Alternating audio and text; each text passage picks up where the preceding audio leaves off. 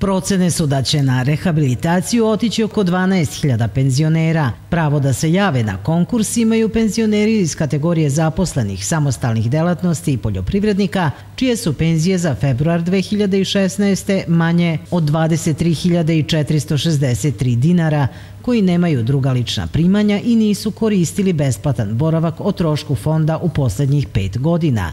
U besplatnu rehabilitaciju uključeni su troškovi prevoza, a fond će snositi troškove za pratioca deteta koje koristi porodičnu penziju po osnovu nesposobnosti za samostalan život i rad. Fond PIO je u 2016. za društveni standard penzionera obezbedio oko 360 miliona dinara, što je 0,1 od 100 prihoda ostvarenih od doprinosa, a najveći deo, preko 93 od 100, namenjen je za besplatnu rehabilitaciju u banjama.